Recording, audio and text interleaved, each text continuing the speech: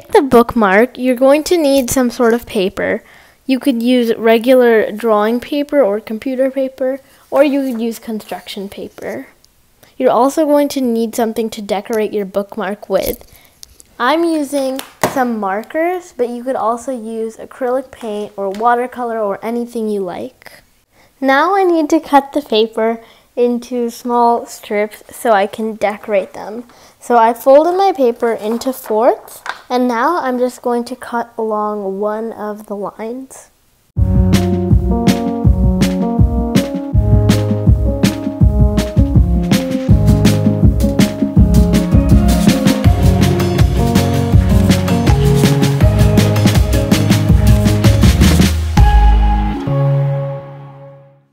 You finish decorating your bookmark, you can leave it at this, or you can laminate it.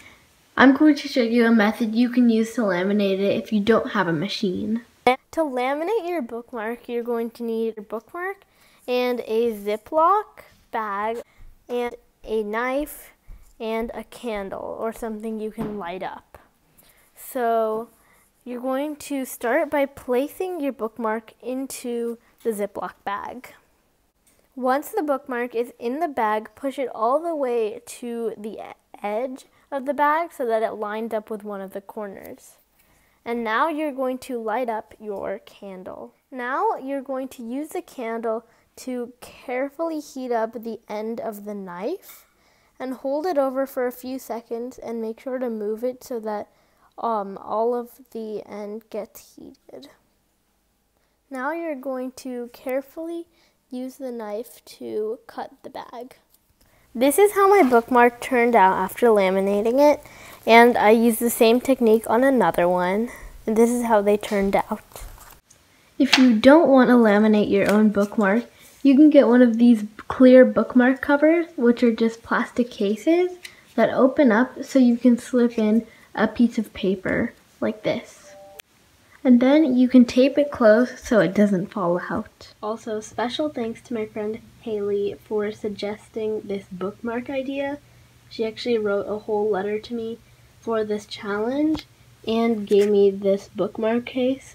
I'll leave more information about the challenge in the description if you want to try it out yourself. So thank you Hailey.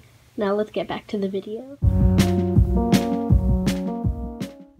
Next idea is to paint a mug. So start with an old mug that you have. I'm using this one. I started by sanding the mug and now I'm just painting it white.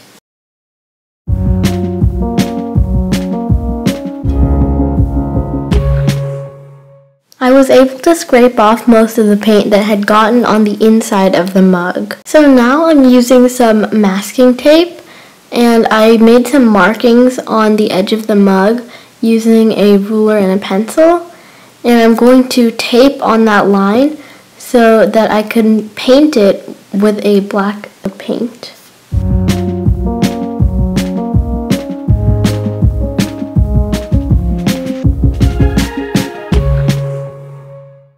So I touched up the black paint and added a gold stripe across the top and added a Chanel logo and this is how it looks.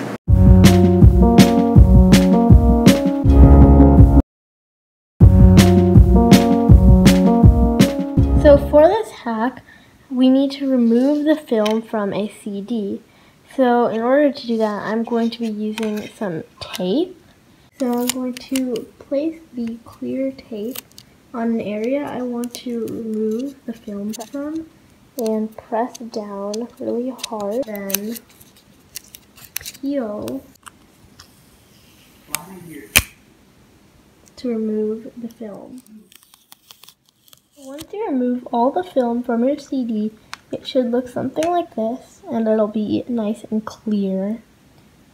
So now it's time to paint and customize this.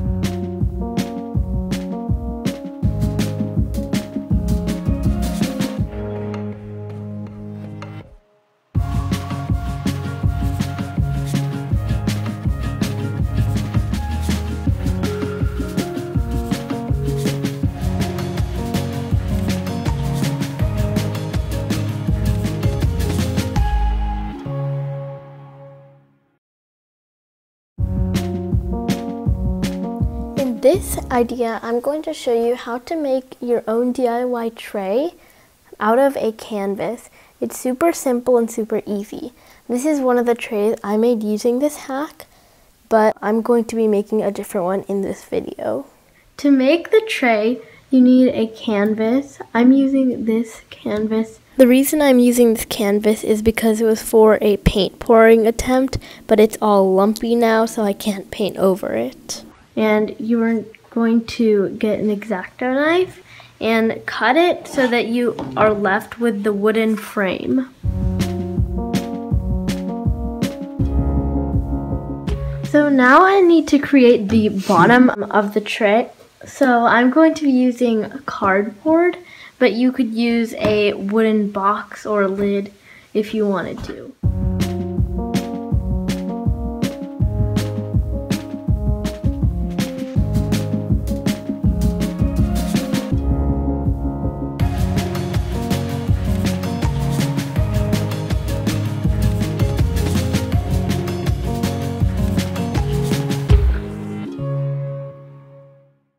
Now I am painting the tray and I'm starting with the wood and I'm using a pink colored stain for this. So I'm applying it with a paintbrush and then wiping it away with a paper towel to leave some of the wood grain behind.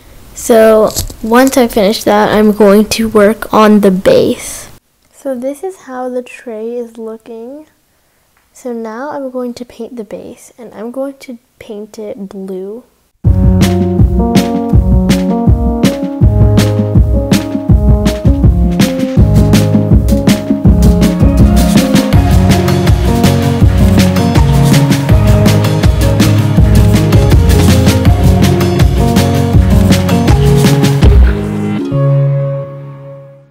By the way, I did remove the poster board that I glued on earlier. For this idea, you're going to be using the scrap canvas from the tray project. So find a large piece that you can cut. So I'm going to be using this area because it's pretty blank and it doesn't have a whole lot of rips in it except for that. But I can cut that off.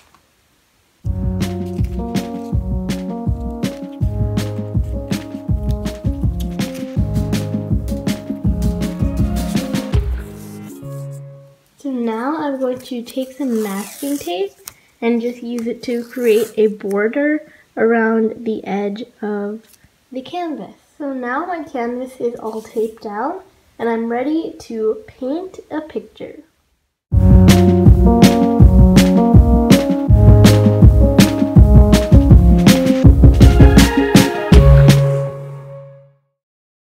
Now I have to peel off the tape border around my painting.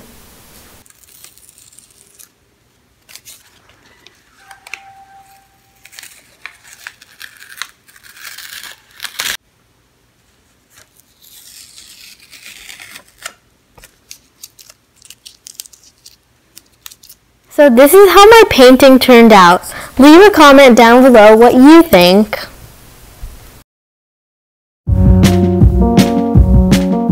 Thank you guys so much for watching this video.